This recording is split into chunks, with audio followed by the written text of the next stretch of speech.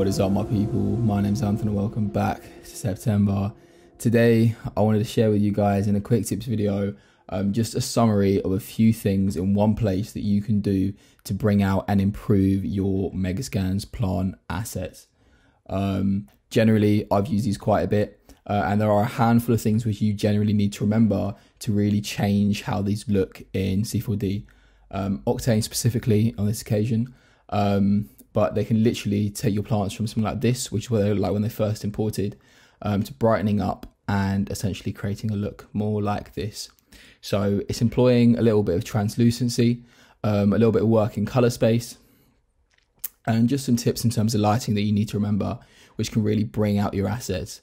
Um, I've been working on a handful of projects recently in terms of like scattering on landscapes, uh, and these techniques really, really work well um, to bring out those plants and create that extra sense of realism. Um, and it can be uh, a noticeable difference in, in your work. So, without any further ado, uh, I'm going to quickly summarize. So, I'm going to turn off the A and B comparison here, and I'm just going to take out the models that I already have um, and just run over the setup that I've got here. So all I have are two cameras in a landscape, HDRI, and a light, which is set up over here. I'm going to delete the light real quick. The HDRI, just a regular HDRI, uh, and we're going to start from scratch, sort of like recreate the look, so I have a chance to explain um, what each sort of step in the process is. But for now, uh, we'll just hover here.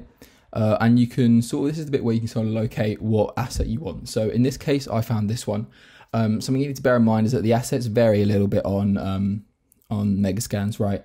So some of them are 4K, some of them are 8K. Some tend to have thicker leaves than others, uh, and the color spaces are a little a little jammed up. Obviously, you have some which with some assets which are more like grass, some which are more like weeds.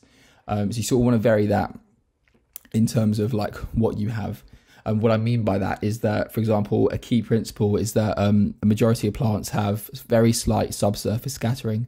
What that means is that they're not entirely opaque, right? Light actually flows through them. And in a recent update to Megascans, there's actually a tab in the Octane material for translucency, which is great. Um, I'll follow up if you don't have that tab. There is another the other method you can use, but um, what I mean by that is that, for example, with weeds, there'll be less translucency than in like green leaved plants like these. Um, and the cat palms that I was using before. So that's kind of something you want to dial in or out, um, varying on your situation. Uh, obviously, there'll be less translucency in the stems rather than the petals, so just something to bear in mind. Um, but for now, we're going to follow up with the same plant that we had before, which was this cat palm. Um, if you can, obviously, it depends what kind of like level of detail you're going for. But for me, uh, I always have the highest resolution, so I'm picking 8K resolution here. My export settings are nothing special, just sticking to Cinema 4D um, and then just hitting export. And by default, I will show you exactly what gets imported to Cinema 4D and how you can edit it. So that's going to get brought into our setup here super quick. Um, and any minute I can run over what we have. So it's imported it to the center of our scene here, and we have some plants which by default look pretty dark, but generally do fit into the environment, right? So what you need to do first is obviously if you're working with a scatter, you want to make sure you're dragging these into the scatter. So let's grab what we've got here uh, and drag them in. We need to make sure we toggle this visible. Uh, and you'll see straight away by default, if we look from far away, um, the original import is still sized up regardless of our scatter. So to change that, if we literally just drag and click down to turn off our original models like that, you'll see that it leaves the scatter and obviously turns off that original import, which is great. We can save up and we can hop into our whatever camera setup you have, and you can kind of see the look you're going for. So without tweaking the HDRI and without adding a light, by default, this is what we get. Um, incredibly dark. We're working ACES path tracing here, and by default, of course, we're not. Delete the other material real quick. Uh, by the default, we're not working in ACES. You can tell if you click on albedo, head to color correction, and then albedo here. You can see we're working in linear sRGB plus legacy gamma. So First step, you want to switch that over to aces or whatever color space you're working in. And already that's still brightened it up. But what you'll notice is that specifically where the leaves sort of like under under the foliage, um, it's incredibly dark. Which, if that's what you're after, works well. But typically with plants um, and scenes, you kind of want that brightened up and to ref- refract the light a little more, right? So what we can do is before we head on into the materials any deeper, let's quickly add a light. So you can add sunlight if you like, but I prefer to just grab a little area light and then we can head in here and just rotate it ever so slightly so that we have it coming from the right, for example. Just set that to 90. We can move that up and out the foliage, maybe somewhere over here. If you want a little more direction, you can just grab a target and make sure you're selecting your landscape. And what that will do is it will point that light to your landscape no matter what the situation. So let's drag it out a little bit and almost simulate like a sun. That's what I mean by that is having a fairly small light, but maybe a little more intense than we normally have it. If you want to add some extra detail to your light, just head to texture here, C4D Octane, and just drop to fall off map here. Set this to vector 90 degrees. And you'll see that if we head into here, we'll start to have a little light coming off, although we need to brighten this up a little bit. So let's go about doing that. Set it to maybe a little more like 500, and you can see that light source starting to come through. Um, in essence, the further away you have that light, the more little shadows that you sort of see falling through your plant. So you sort of catch some here.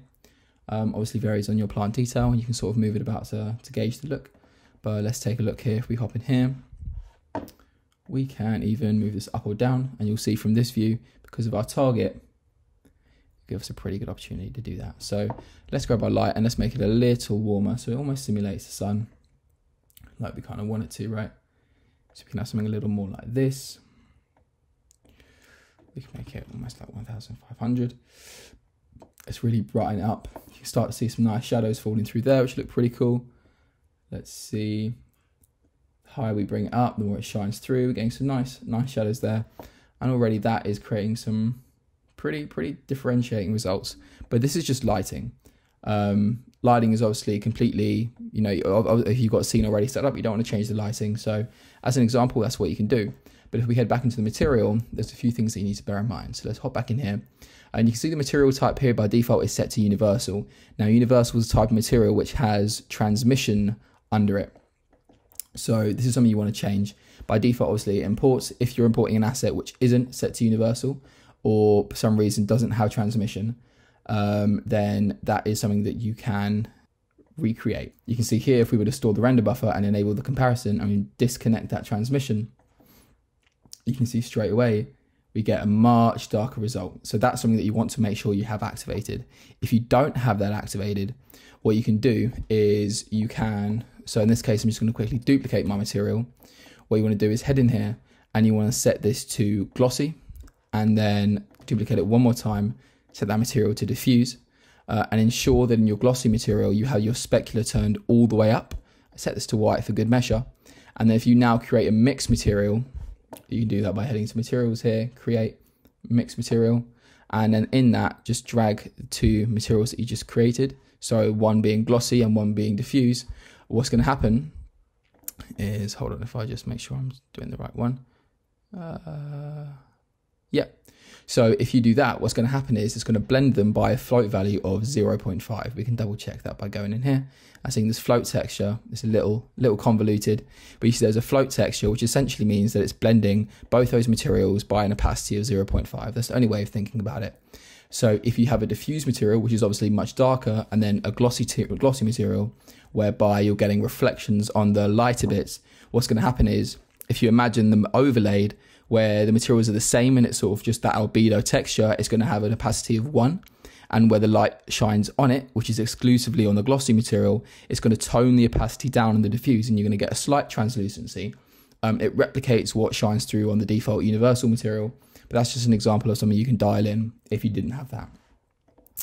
But the final step, or something that I typically do just to really get it going here, I've lost myself in the viewport, is if you head to your active material, so if I just replace that mixed material to kind of show you, you can see we're getting a pretty similar look, but it's just something to bear in mind. We grab our original material, hop in here. Something you want to bear in mind is the BRDF model. Now by default, this is set to GGX. Um, I'm not entirely sure what this means, but what I do know is that when you set this to Octane, it actually has a bit of a difference in terms of its reaction to light. Um, I enable a comparison, but you can start to see the way it catches the shadows uh, and reflects the light in general seems a little glossier um, and more more realistic. It seems more more native, if that makes sense, um, just with the way the path tracing works. So if you've got your BRDF model set to Octane and you've got your transmission activated, those are the two main things you can do, obviously, apart from working in the color space. And if you still wanted to either brighten or darken your texture, best way of you doing that is heading to your multiply tab or find out where your albedo is plugged into because more often than not, there's a color correction which is literally plugged just, I think it's just down here. My tree is very convoluted, but just here. Uh, and your gamma tab is essentially your friend in um, just color correcting your texture. So if you want to move that down, you can see that's going to make it much, much brighter. So just kind of varies on what kind of, like I said, what kind of plant you have. That brightens up all the way, but you see the tips have just kind of become frosted there. Or you can increase the gamma more, and that's going to darken it down to maybe something more native to this kind of plant, for example, something a little darker.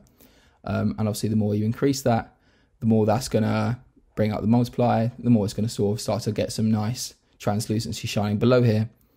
So you can see as we dial that in, you're starting to see shadows and little aspects which weren't even visible before, um, thanks to path tracing and some of that translucency. But in general, um, those are the main tips that you sort of want to bear in mind if you're importing um, assets. Assets in general, I feel like plants are very hit and miss um, with Megascans. For some reason, I have some which seem to look great and others which seem to cause me issues. Um, typically, I have references that I work from and I try to like, lo- lo- source as many as I can accurate to that. Um, and sometimes I have luck and sometimes it becomes a problem. So sort of sort of bear that in mind. If you're having trouble with one plant, just move on to the next and see if you can implement, implement some of these techniques and make it look a little nicer. Um, but in general, that is the kind of approach that you want to have. This is a great scene because of the way these um, this scatter is scaled. So if I want to add a little bit of depth of field, I can literally hop in here uh, and untick this. Maybe set the aperture to something like five, and just get some nice focus depth uh, and you can see it will start working with a lot of that translucency um, and creating a pretty nice pretty nice look with depth. So without waffling anymore those are a few of the main tips that you can sort of implement to um, straight away quickly improve your um, Megascans assets. So I will see you guys very soon in the next video. Thank you everybody for watching. I'm hoping this helps. Um, and I will see you with some more content very soon